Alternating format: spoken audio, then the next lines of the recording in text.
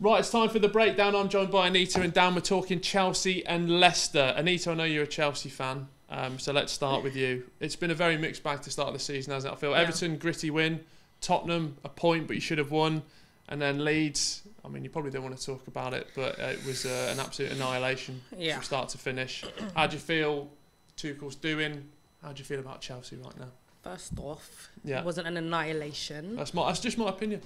That's Alright. just my opinion. All right, it was an annihilation. was. Yeah, yeah, we absolutely got battered. Yeah. it was actually quite a painful match for me to sit there and watch because of the rivalry as well between the two clubs. You're Yeah. just thinking, let's just get one goal back and call it a night, but we didn't even manage to get the one. So yeah, it was a bit of a nightmare.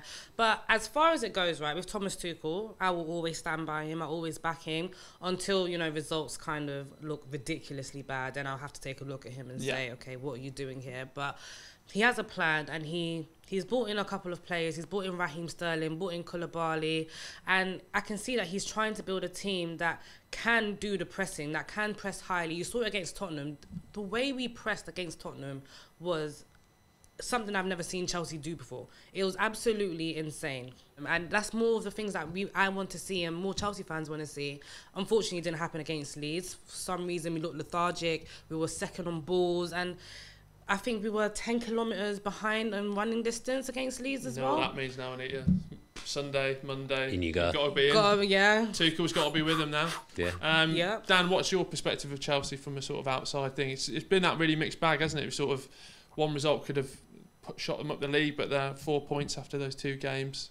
I wouldn't be massively downhearted if I was a Chelsea fan because I just thought they were so so impressive in that Spurs game. Deserved undoubtedly to, to win that game. And then the next time, sometimes you just have off days. Sometimes the teams are good. Leeds were very good. Yeah. On, on, on that Sunday game, I thought they were exceptional. And like you say, they had a good game plan.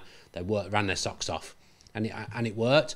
I think the problem with Chelsea at the moment is I think everyone knows they're not finished in the Yeah. transfer market, so they're kind of maybe in some ways behind some of the teams that they're playing because they're not the finished Yeah. article. So far, they're waiting for the transfer window to finish and see how their team lines up. But I just think they're cry- crying out for a striker. I want to talk Leicester. I'm worried about Leicester. Yeah, Uh, Yeah. whole spine appears to be going. The big one for me, Kasper Schmeichel going, just because of his ability as a goalie, undoubtable, but just sort of those leadership qualities in the changing room. He's been there through that such a long spell. Fofana's going. Tielemans looks like he's going. Maddison's been linked with Newcastle. Vardy signed the contract, but he's 36. So Dan, it just appears. I mean, normally they're a sort of banker between that sixth to eighth position. They're always going to be in and around, looking to build. Brendan Rodgers is a manager, progressive. Can they get in the Champions League? And now, one bad transfer window, and they're looking down rather than up, aren't they? yeah, and you know everything with Leicester is wrong at the moment. They've Yeah. got unhappy players. The manager's visibly unhappy by what's coming out that he's saying after games and saying in, in his press conferences. The fans are desperately unhappy as well. Some, a lot of them not happy with Rodgers.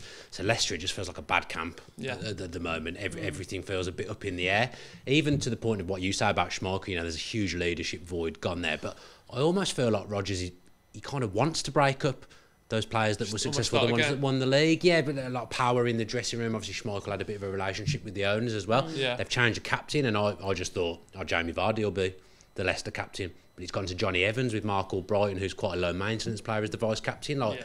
why is Vardy not in the in the leadership group? I feel like there's something odd This going is on at manager Leicester. who's changing the social groups. Yeah, So exactly. you've got a bit too much You know. power over it. Let's bring You it know. back. Yeah, Leicester's just it's it's not going well. Look on the pitch as well. You know they've they've chucked away points from winning positions in, in games. Arsenal they get a goal to get back in the game, run down the other end and concede. Keeper looks shaky. Mm. So there's nothing good coming out of Leicester at the moment. And if I was a Leicester fan, I'd be concerned. tactically down for Leicester. I know we've been quite negative on them so far, but this one feels a little bit like a free hit for them going away, going to Stamford Bridge.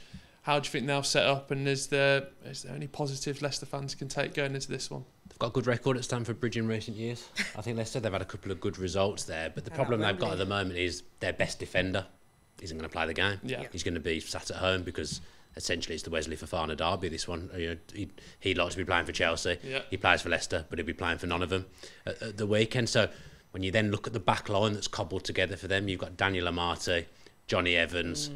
You know, they've got centre backs at the moment. Soyuncu probably may play as well. They're playing a, playing a back three at the moment.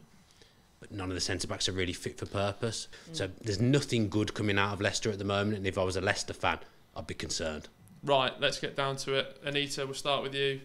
Chelsea, do you think what? Which version are we going to get? The first game, the second game, or the third game?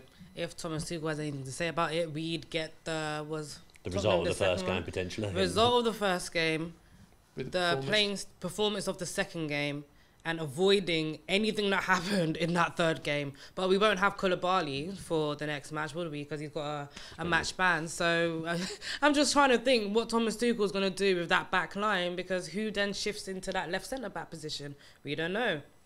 Let's see how it goes. I'm, I'm predicting a 1 0 to Chelsea. Nothing extravagant. Okay, Dan. Yeah, Chelsea, Chelsea will win. I think Cucurella will come in and, and play that left centre back role with Chilwell moving to left wing back potentially, and I think that'll see a lot more progression coming out of the back for Chelsea. I think Chelsea will win quite comfortably. But would, gonna would I want to see Cucurella at a left centre back the same way I don't want to see Reece James at right centre back? You know what I'm saying? I think you might see both. Oh.